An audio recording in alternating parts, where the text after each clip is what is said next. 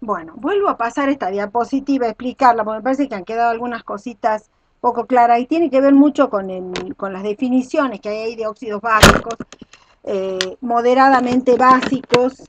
Yo les quiero recordar que los básicos, digamos, para dejarlo tal vez más claro, es eh, los formados con, metales eh, muy electropositivos, como los grupos alcalinos, sodio, potasio, etc.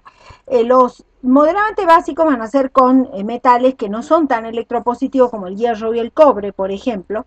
Los anfóteros, acuérdense de los metales, el zinc y el aluminio que lo usábamos para obtener hidrógeno, sus óxidos, ahora piensen en sus óxidos, que tiene cada uno un óxido, el más importante por lo menos, y es anfótero. O sea, puede, es anfótero. La definición de anfótero vale para el metal y vale para el óxido, o sea, va a ser el que va a reaccionar con ácidos y con bases, ¿sí? Entonces, eh, el óxido ácido son los muy reconocibles, como el dióxido de carbono, el dióxido de azufre, el trióxido, que se acuerdan que le agregaban agua y se obtenía el ácido. ¿ah? Entonces, esos que antes le llamábamos anhidrido, que es ya una nomenclatura que UPAC no reconoce, eh, eran los óxidos ácidos. Y luego finalmente teníamos los óxidos neutros que no reaccionan con agua y no va a dar ni base ni ácido. El monóxido de carbono, el monóxido de nitrógeno, el monóxido de dinitrógeno.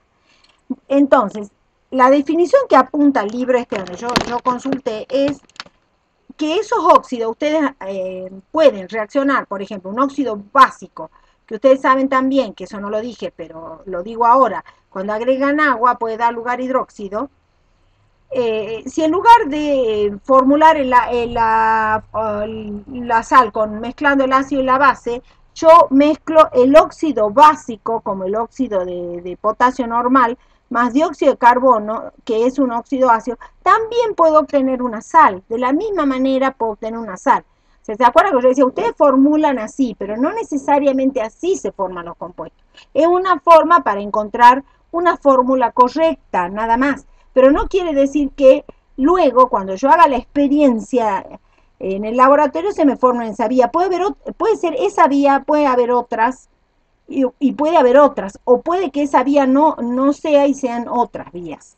Entonces, es simplemente para formular. Entonces, aquí yo les decía una forma, realmente esto sí, ocurre, sí puede ocurrir, y de hecho ocurre eh, la formación de los carbonatos en la naturaleza se mezclan los óxidos, una mezcla de óxido básico con óxido ácido.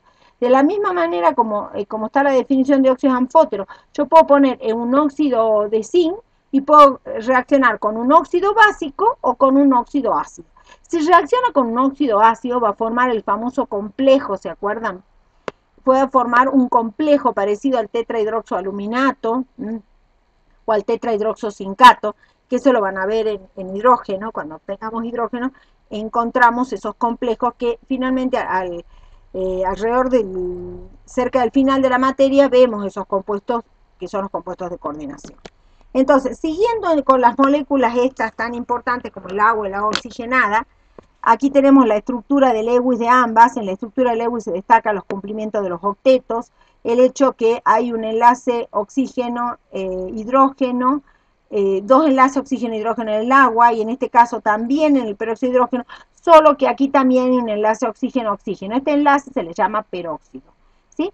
La estructura del Lewis, como yo les decía, nos permite explicar el enlace, nos permite trabajar un arreglo electrónico, ubicar electrones de enlace y de no enlace, pero en este caso el análisis de la teoría de enlace de valencia para los dos compuestos es mucho más abarcativa porque nos explica la geometría de las moléculas y también nos indica que en el caso del agua, eh, qué hibridización corresponde al átomo central. En este caso es sp3 porque tiene cuatro pares electrónicos a su alrededor. O sea, su geometría electrónica es tetraédrica, pero si analizamos la geometría molecular, es angular en el agua. Aquí el ángulo de enlace, hablando de ángulo, que es un parámetro molecular, como ya decía yo que eran las, distancias de enlace y las energías de enlace, Acá nos da un ángulo de 104,5, pero el ángulo tetraédrico, ustedes saben, normal, por ejemplo en el caso del metano, en el caso de los hidrocarburos, es 109,8. Acá hay un ángulo menor debido a la repulsión ejercida por los pares ubicados en los otros dos orbitales CP3, los pares de no enlace del oxígeno, que repelen los pares de enlace y cierran el ángulo. Esto se ve exacerbado acá en el agua oxigenada, porque acá tenemos dos átomos de oxígeno unidos y en total cuatro pares de electrones de no enlace. Y, esa, eh, y para minimizar la repulsión, el, el agua oxigenada se ubica como en una geometría diédrica, o sea, se despliega en dos planos. Y en el lomo, como si fuera un libro, y en el lomo de ese libro se ubica el enlace oxígeno-oxígeno. Ustedes ven aquí que los ángulos de enlace son 97 grados, aún mucho más alejado que este de la, la hibridización tetraédrica. O sea que acá también podríamos plantear el enlace, de acuerdo a la teoría de enlace de valencia, solapando orbitales, considerando los orbitales P, porque el ángulo de enlace este se acerca más al ángulo de enlace que tienen los orbitales P entre sí. Se puede plantear también hibridizado, pero eh, y considerando la, la diferencia notable que va a tener el ángulo real con el ángulo tetraédrico. Bien, entonces, eh, también se, eh, fíjense que los hidrógenos se ubican en los dos planos, ¿no? Bueno. Vamos a dedicarnos ahora al agua oxigenada, le vamos a analizar propiedades físicas, sus propiedades químicas, o sea, fundamentalmente las óxidos reductoras que son relevantes, también tiene otras propiedades, ¿no? Pero eh, del punto de vista de que ácido base, pero fundamentalmente las óxidos reductoras son muy relevantes y son las que ensayamos en el laboratorio. Eh, también vamos a trabajar qué ocurre con el agua oxigenada, pues nosotros siempre la manipulamos y siempre se manipula. En, ustedes van a ver en la peluquería cuando utilizan el agua oxigenada, en, en medicina cuando se utiliza el agua oxigenada para desinfectar heridas, eh, se utilizan soluciones acuosas. Entonces, esa solución acuosa, su concentración se puede expresar de varias maneras, como porcentaje masa en masa, porcentaje masa en volumen, porcentaje eh, gramos por litro, molaridad, normalidad y también volúmenes de oxígeno. ¿Por qué vamos a expresar eso? Vamos a ver. Expresamos en volúmenes de oxígeno porque como eh, lo dijimos ya en la obtención de oxígeno, eh, la oxígena tiende a descomponerse rápidamente y a darnos oxígeno, o sea que es una fuente de oxígeno. Podemos utilizar esta ecuación, esta reacción en el laboratorio para obtener oxígeno, por ejemplo. Ven que la, tiene, es una reacción exotérmica, porque tiene eh, una variación de entalpía menor que cero y también que es espontánea, que tiene una variación de energía menor que cero. Está muy favorecida la descomposición de la oxigenada y en base a eso nosotros vamos a expresar esa nueva concentración en volúmenes de oxígeno. Otro detalle importante, al tener dos enlaces oxígeno-hidrógeno, que son muy polares, vamos a tener doble puente hidrógeno, con lo cual nos encontramos en un líquido muy viscoso, muy soluble en agua y con un alto punto de ebullición, un altísimo punto de ebullición por el doble puente hidrógeno. Eh, bien. Acá podemos eh, describir el componente, el comportamiento, por ejemplo, en el primera de mi reacción, eh, porque la, a ver, para empezar, es puede actuar como oxidante y reductor en medio ácido como en medio básico. Nosotros acá lo estamos planteando en medio ácido. Aquí que el agua oxigenada actúa como, se reduce actúa como oxidante. Por ejemplo, oxida el yoduro a yodo. Por ejemplo, oxida el sulfuro de plomo a sulfato de plomo. Las soluciones ferrosas a férricas. O bien puede también, el, en este caso está planteada la, la, reacción como reducción, pero si la invertimos, nos va a dar que la oxigenada también puede oxidarse y actuar como reductor. ¿En qué casos? Cuando está al frente de, eh, de oxidantes muy fuertes como el permanganato o como el óxido de plata, que son oxidantes fortísimos. Entonces el agua oxigenada se oxida y actúa como reductor. Aquí está la reacción que la pueden invertir. ¿Sí? Acuérdense de todas estas reacciones porque caracterizan el comportamiento químico del agua oxigenada y eh, son las que justamente ensayamos mucho en el laboratorio y no solo eso, sino que también las aplicaciones del agua oxigenada y van a estar relacionadas con todo este comportamiento. Vamos a ver que las soluciones acuosas agua oxigenada que se utilizan mucho en el laboratorio, se utilizan mucho porque es un agente, puede actuar como agente oxidante, ya vimos, entonces su concentración eh, se puede expresar en molaridad, normalidad y también en volúmenes de oxígeno, que es lo que acabo de decir.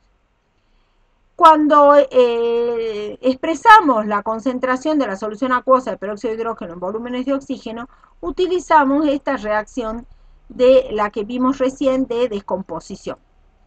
Y eh, significa que aquí hay una, una definición general que es que los volúmenes de oxígeno o litros de oxígeno también desprendidos en condiciones normales de presión y temperatura, o sea, temperatura de 273 Kelvin y una atmósfera de presión, en esas condiciones, los, litros, mejor dicho, de oxígeno desprendido en esta ecuación, en esas condiciones, por cada litro de agua, de solución de agua oxigenada.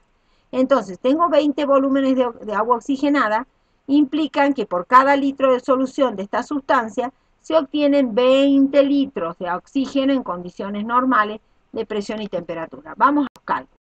Acá tengo un ejemplo de cálculo en los cuales vemos el cálculo de la concentración de una solución acuosa de peróxido de hidrógeno. Y datos, partimos de la solución al 20% masa sobre volumen con esta densidad. Entonces, podemos calcular el porcentaje masa en masa utilizando la densidad, sabiendo que 20 gramos están en 100 mililitros. Eh, aplicamos este factor de conversión, por cada mililitro tengo esta masa de solución, y en 100 gramos cuánto tengo, puedo obtener el porcentaje masa en masa. También puedo expresar en gramos por litro. ¿Cómo? Yo, sé que tengo 20 gramos cada 100 mililitros. En mil mililitros que están en un litro, puedo obtener la expresión de la concentración en gramos por litro. Si lo quiero expresar en molaridad, es lo mismo que gramos con litro, solamente que le incorporo otro factor más a, las conversiones. Lo multiplico por un mol, porque yo sé que un mol, eh, el peso molecular de la oxígena es 34, entonces por un mol es 34 gramos. Si yo opero matemáticamente todo esto, me da la molaridad. Ahora, ¿Cómo obtengo los volúmenes de oxígeno? Vuelvo, como les dije recién, eh, utilizo la ecuación de descomposición de la oxigenada y planteo las relaciones estequiométricas. Yo sé, por cada 2 moles por litro de solución tengo, se desprende un mol de oxígeno, que en condiciones normales es 22,4 litros de oxígeno. Entonces, si yo sé, tengo de acá que la molaridad de esta solución es 5,88 mol por litro molaridad, ya de acá puedo, aplicando una regla de tres simple directa, eh, puedo obtener los volúmenes de oxígeno de esta solución. Ya la expreso en volúmenes de oxígeno. También puedo expresar en normalidad. Para eso eh, me refiero a su, a su comportamiento oxidorreductor. En este caso sé que puede actuar como, como oxidante, eh, reduciéndose, y como reductor, oxidándose. En este caso, como la normalidad está expresada en función de la reacción de óxido-reducción, sé que el peso equivalente va a ser igual al peso molecular dividido 2. ¿Por qué? Porque tanto en la reducción como en la oxidación hay dos electrones involucrados. Entonces, por cada mol de agua oxigenada o peróxido de hidrógeno, se ganan o pierden dos electrones o dos equivalentes. Sabiendo el peso equivalente, y sabiendo que la normalidad es igual a la molaridad por el número de equivalentes, eso lo pueden ustedes deducir perfectamente, yo tengo, teniendo la molaridad, multiplicando por el número de equivalentes, que son dos, porque son dos electrones transferidos, tengo la normalidad.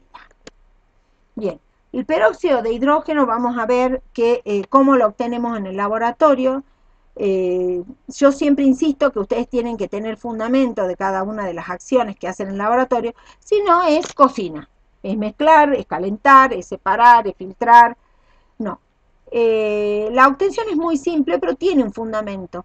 Yo parto del de peróxido de, hidro, de bario, del peróxido de bario, que era una, uno del, ¿se acuerdan cuando clasificábamos los óxidos de acuerdo al número de oxidación? Podía ser menos 2 si era óxido normal, si era menos 1 era peróxido y si era menos un medio era superóxido, en este caso un peróxido. Y va a ser un óxido de un metal alcalino, alcalino terrio en este caso, va a ser muy básico. Si yo le agrego una solución concentrada de ácido sulfúrico, fíjense, eh, voy a agregar primero agua, eh, perdón, el ácido sulfúrico está diluido, lo vamos a diluir y lo mezclamos con el, peróxido de bario sólido. como el ácido sulfúrico generalmente cuando tiene contacto con el agua eh, da una reacción exotérmica y mucho más cuando se combina con el peróxido de hidrógeno, entonces nos va a dar el sulfato de bario y el agua oxigenada. Ustedes cuando observen el recipiente, esto generalmente se hace en un Erlenmeyer, eh, cuando ocurre esto en un Erlenmeyer, el Meyer, que es un recipiente de boca angosta, eh, ustedes van a encontrar una suspensión blanca. El sulfato de bario no es soluble, así que es necesario filtrarlo para separarlo. Y además, como el ácido sulfúrico en el medio acuoso tiende a, como tiene tanta afinidad con, eh, por el agua, tiende a liberar calor. Entonces, cuando ocurre eso, el calor enseguida me descompone el agua oxigenada. Entonces, para evitar que el calor del agua, de la mezcla del sulfúrico en medio acuoso me, eh, y la misma reacción, ¿no? porque la reacción es exotérmica, o sea, al reaccionar va a ser, eh, esta reacción va a ser exotérmica. Ya mezclar con agua el ácido sulfúrico implica que, haya también una liberación de calor. Entonces, eh, para evitar que la, liberación del calor de esta reacción exotérmica me descomponga el agua, agua oxigenada, yo lo que hago en frío, agua en frío, en frío. Ahora, para poder separar lo que obtuve, porque ahora lo tengo todo mezclado, tengo una suspensión blanca en la media, para poder separar lo que, lo que obtuve, lo que hago es filtrar. Fíjense una filtración simple, una filtración por gravedad. Fíjense acá le puse qué es lo que pasa con el agua oxigenada a medida que aumenta la temperatura, ¿no? Eh, perdón, en, en, eh, no, es sí, a medida que es la temperatura de almacenamiento. Si yo la coloco, el agua oxigenada se descompone enseguida. El agua oxigenada, a medida que aumenta la temperatura de, almacenaje, eh, se empieza a descomponer. Si la mantengo a 30 grados, 1%, por, 1, una, 1 se descompone por año. Si a 66 grados, 1% cada, por semana se descompone a 100, a 100 grados, si la mantengo a 100 grados, 2%, por, 2 por día. Y en el caso a los 140 grados ya la descomposición es inmediata. Entonces cuando yo la compro el agua oxigenada, como se me descompone rápidamente por el calor, em, tengo que, eh, cada tanto, cuando la voy a usar, la tengo que valorar para determinar cuál es la concentración real, porque siempre va descomponiéndose. Por eso esta reacción exotérmica me eh, obliga a trabajar eh, con hielo y luego a separar por filtración y que me quede el agua oxigenada en el líquido de filtrado y en el filtro me queda todo el sólido que es sulfato de bario. Eh, finalmente que cuando la obtengo el agua oxigenada la reconozco aprovechando su propiedad oxirreductor, o sea, tomo unas gotas oxigenadas y la hago reaccionar con una solución de permanganato de potasio en medio ácido, el medio ácido es medio sulfúrico, diluido por supuesto, o también lo hago reaccionar con yoduro de potasio en medio ácido para eh, eh, observar el comportamiento oxidante. Bien, ahora veamos el método, la obtención industrial de agua oxigenada. El principio es una electrólisis de sulfato ácido de amonio, con la posterior hidrólisis del producto del ánodo, que es el anión persulfato. Eh, en realidad aquí tendría que haber puesto peroxidisulfato. El peroxidisulfato ustedes ya lo han visto en la electrólisis, cuando explicábamos la electrólisis del, agua del, del ácido sulfúrico, de la solución de ácido sulfúrico, aparecía este anión. Este es peroxidisulfato, si lo pueden corregir, corríjanlo. Y finalmente se forma peróxido de hidrógeno. Vamos a ver, la electrólisis es una oxidación electrolítica de una solución de sulfato ácido o bisulfato de amonio. ¿Sí? Una solución ácida. Eh, la solución es ácida, entonces acá tenemos las dos reacciones que ocurren. Lo que ocurre aquí es que yo le voy a aplicar un voltaje eh, muy elevado, y va a tener una alta densidad de corriente, siempre corriente continua para la electrólisis, para evitar el cambio de polaridad de los polos. Y acá tengo la reacción de oxidación del sulfato ácido a anión peroxidisulfato. Entonces, cuando ocurre eso, se forma este anión, en el cátodo se va a, reducir el, protón, porque la, solución es ácida. Entonces se va a reducir el protón a hidrógeno. Entonces en el cátodo voy a obtener hidrógeno. Este anión peróxido disulfato en solución acuosa no es estable y tiende a hidrolizar, a reaccionar con el agua y a descomponerse y a darnos como producto principal agua oxigenada o peróxido hidrógeno. Esta reacción yo le pongo global porque sigue etapas. En mucha bibliografía hay etapas. Yo preferí darle la reacción global para que directamente la manejen a la reacción global y no tengan que aprender dos reacciones en dos etapas. Que esta es la más importante, es la que me interesa a mí. ¿sí? Y bueno, en este caso tengo, tengo una, diferencia acá. Eh, bien, ahí se forma el agua oxigenada. Eh, para purificarla, esta es, la, obtención. Luego la hidrólisis, la obtención de peróxido y sulfato, la hidrólisis finalmente la destilación para separar y purificar el agua oxigenada. Acuérdense que como el agua oxigenada se descompone con el calor, la destilación se hace generalmente a, presión reducida. A menor presión, menor punto de ebullición. Bien, vamos a las aplicaciones. Como es un oxidante, como todos los oxidantes, como el hipoclorito de sodio, puede utilizarse como agente blanqueador de maderas, materiales textiles, papeles, aceites y grasas. Tiende entonces a, ejercer un efecto eh, blanqueador. También se lo utiliza en peluquería para aclarar el pelo. Es precursor de detergentes como el peroxoborato de sodio y otros productos de limpieza. En el medio nosotros conocemos una empresa que produce un detergente a base de peroxoboratos, que no le voy a decir el nombre comercial porque yo no vendo detergente, pero ahí se puede ver un derivado del agua oxigenada. Es precursor de productos peroxídicos, peróxidos de alquilo, ácidos peroxiacéticos, que actúan como agentes descontaminantes del agua. Fíjense, la acción de estos agentes peroxídicos siempre también va a ser una acción oxidante. Y esa acción oxidante, como también la vamos a ver en la potabilización del agua, nos ayuda a purificar, a desinfectar, a ejercer efectos descontaminantes o desinfectantes. Y es desinfectantes de herida. ¿Cómo se desinfecta la herida? Ustedes han visto la reacción de descomposición del agua oxigenada. Bueno, esto es lo que se produce cuando yo agrego agua oxigenada sobre una herida. Activo una enzima que está presente en la sangre, que se llama catalasa, y la catalasa ayuda a esa reacción de descomposición. Cuando se libera el oxígeno, el oxígeno actúa como agente desinfectante. Entonces, también se lo utiliza para eh, controlar hemorragias, eh, para favorecer la coagulación de la sangre, también actúa en ese, en ese punto. Bien, acá hay algunos datos eh, de una planta de obtención, de una planta de obtención de, industrial de obtención de agua oxigenada, nos habla de lo, de lo que eh, el rendimiento consumo del proceso eh, en base a 100 kilogramos de peróxido de hidrógeno coproducido.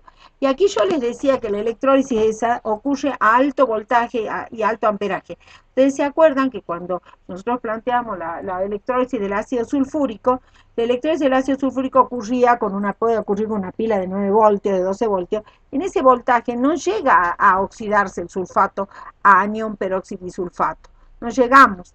Entonces, en este caso, al aplicarle una alta densidad de corriente, podemos eh, obtener la oxidación de sulfato a peróxido y sulfato y después descomponer el peróxido y sulfato y darnos agua oxigenada. ¿sí? Eh, siempre los procesos electrolíticos son procesos que requieren gran consumo de electricidad, de kilovatios. Por eso generalmente se ponen en marcha cuando hay eh, políticas de, impulso industrial, entonces hay un kilowatt industrial y un kilowatt doméstico, y bueno, un kilowatt industrial eh, tiene un valor que favorece todos estos desarrollos. ¿no? Bien, el agua, vamos al agua. El agua ya la hemos visto cuando trabajamos hidruros, los hidruros del grupo 6, eh, que este hidruro se, marcaba su alto punto de ebullición por la formación de puentes y por lo tanto al formar puentes tenía puntos de ebullición elevado a pesar de formar un hidruro con el elemento más liviano del grupo que era el oxígeno.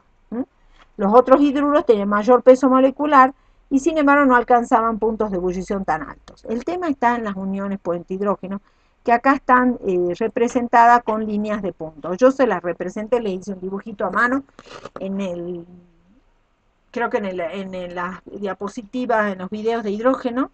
Bueno, esto tiene consecuencias, además del punto de ebullición alto. Estos líquidos se los considera líquidos asociados. Y el agua en particular tiene eh, em, una característica que no tienen todas las sustancias, es que es un compuesto que se encuentra en la naturaleza en los tres estados de agregación. En la naturaleza lo podemos encontrar en los tres estados. Es fundamental eh, para la vida, es un medio, nosotros tenemos los seres vivos un gran porcentaje de eh, parte acuosa, eh, es el famoso disolvente universal. Generalmente disuelve las sustancias iónicas mediante, disuelve las, las moléculas polares, las sustancias iónicas, debido a un mecanismo de solvatación que ya lo vamos a ver cuando veamos equilibrio de precipitación. Esto explica que el agua natural, eh, por ejemplo, contenga minerales, o sea que los minerales se disuelven rápidamente en el agua. Por eso en la naturaleza siempre encontramos el agua con minerales. El agua potable también tiene un cierto contenido de minerales. Es necesario por cuestiones de salud consumir agua con una determinada cantidad de minerales, es importante. Y esos minerales están presentes porque se disuelven fácilmente. Generalmente los minerales son iónicos. Entonces, eh, se disocian en agua en forma iónica y cada ion es rodeado por moléculas de agua. La molécula de agua, como es polar, se orienta. Entonces, cuando tiene que rodear al ion positivo, se orienta con su parte, con la densidad positiva, o sea, los oxígenos hacia el ion positivo. Cuando tiene que rodear un ion negativo, se orienta con los hidrógenos en dirección al ion negativo. Y ese mecanismo de solvatación es clave, porque no solamente nos explica la, una interacción, que es la interacción ion-dipolo, que tiene muchísima importancia en las uniones intermoleculares, sino que nos explica los mecanismos de solvatación y además eh, la solubilidad y también nos tiene una energía asociada, una energía de hidratación que tiene mucha importancia desde el punto de vista termodinámico. El caso del agua de mar es un caso particular en que eh, tiene muchas sales disueltas, una cantidad apreciable. Aquí hay algunas proporciones expresadas en porcentaje en peso. Bien, eh, vemos el agua, aquí está el análisis de acuerdo a la teoría de enlace de Valencia, la hibridización SP3 está desarrollada acá. Tiene una estructura cristalina en estado sólido, y resulta que ese, que ese estado sólido tiene la, particularidad de poseer menor densidad que el estado líquido. ¿Y cómo se explica eso? Se explica en cuanto que la, la densidad del agua, por ejemplo, es máxima a un gramo, eh, es, un gramo por centímetro cúbico a, a 4 grados centígrados. Y la densidad del hielo es 0,92 gramos por centímetro cúbico. ¿Cómo es que se produce esa disminución? Lo que ocurre es que en, el estado sólido los puentes hidrógenos continúan, son aún más intensos el puente hidrógeno, que acá se puede ver mejor. El puente hidrógeno es mucho más intenso en estado sólido que en estado líquido y forman estructuras de este tipo hexagonal en estado sólido. Porque en el estado sólido, como dijimos, es cristalino, o sea que se caracteriza por un orden y una regularidad notable. Ustedes si se acuerdan de por ahí lo, se lo ven, bueno, en, ahora que tienen tanto acceso a la, a, la, a la parte audiovisual, los cristales de hielo, que son hexágonos perfectos. Bueno, esos hexágonos perfectos tienen una particularidad, tienen huecos, tienen muchos espacios, muchos espacios, digamos, ¿no? Muchos huecos, muchos intersticios. Entonces, ¿qué es lo que ocurre? Cuando pasa de líquido a sólido, aumenta mucho eh, el volumen. Por eso es que si nosotros dejamos una botella de vidrio con agua en el congelador, cuando el agua se congela, al aumentar el volumen va a producir la, ruptura de, las paredes de la botella de vidrio. Entonces, eso es porque eh, tiene mayor volumen. Y el mayor volumen es cuando forma toda esta estructura hexagonal con los huecos. Entonces, eso hace que la masa es igual, del líquido al sólido. Pero la eh, densidad varía, disminuye. Disminuye por la formación de todos esos huecos en la estructura cristalina. Esto hace que el hielo flote en el agua. Yo les sugiero que hagan una, una deducción. Ustedes saben que la densidad es igual a masa sobre volumen, ¿no es cierto? Entonces, el volumen es masa sobre densidad. La masa es la misma y al disminuir la densidad crece el volumen. Bien, vamos a ver el caso de la potabilidad, de, la potabilización de agua. Eh, les voy a nombrar antes de cortar el video cuáles son las partes más importantes. El consumo de agua potable es muy importante para evitar la, eh, la, difusión de enfermedades de origen hídrico. Entonces, generalmente en las grandes ciudades, en ciudades por lo menos de alrededor de 50.000 habitantes, más o menos, hay plantas de potabilización. En, comunidades más pequeñas no las hay porque generalmente es una gran inversión. Eh, de todas maneras, es muy importante para mantener la salud pública eh, potabilizar el agua, porque el agua cuando de donde se la toma, donde, donde está el punto de captación, que puede ser de pozo, subterránea, o bien puede ser superficial, de ríos, de, algún cuerpo de agua que esté cercano a la ciudad, se va haciendo la captación. Eh, generalmente el agua, además de, de, sales disueltas que vimos, también puede tener organismos patógenos, bacterias, que van a provocar enfermedades. Había enfermedades hídricas muy conocidas antes de que se generalizaran estos procesos de potabilización y por lo tanto se construyeran las plantas para contener todas las, eh, todas las instalaciones necesarias para un proceso de este tipo. Eh, diciéndolo rápidamente, tenemos la captación, que ya lo nombré, primer filtrado de arena y grava para eliminar el particulado grueso, o sea que el agua va a traer partículas más grandes, más pequeñas. El primer particulado grueso eliminamos con filtros de arena. Luego lo que se hace es agregarle sulfato de aluminio, sobre esto vamos a volver cuando estemos en el grupo 3, porque el sulfato de aluminio, en, fíjense, eh, se le ajusta un pH a 8, o sea, pH básico, esto favorece la, sedimentación de partículas muy pequeñitas, o sea, lo que no se ha podido eliminar en el filtrado con los filtros de arena y grava, se van a lograr sedimentar en la etapa del agregado del sulfato de aluminio. Como, em, como anticipo, les voy diciendo que el sulfato de aluminio a pH 8 va a precipitar como hidróxido de aluminio, que es un precipitado eh, de origen gelatinoso, es un gel, eh, este precipitado de, tiene unas características particulares, es de muy pequeña partícula y de mucha superficie y ayuda a, la sedimentación de todo el particulado fino que, que arrastra el agua, permite sedimentar esto en tanques de sedimentación y luego proceder a, eh, aquí tenemos la decantación, y proceder a un segundo filtrado para eliminar toda esta parte sedimentada. Finalmente, la parte de desinfección, que es el agregado de cloración en medio alcalino, o sea, se agrega cloro, gas cloro, para eh, oxidar los restos de materia orgánica. Eh, las bacterias, las bacterias van a tener, obviamente como todo organismo vivo, un metabolismo, o sea, van a, van a alimentarse, van a eliminar desechos, sea, van a tener todo el proceso de la vida.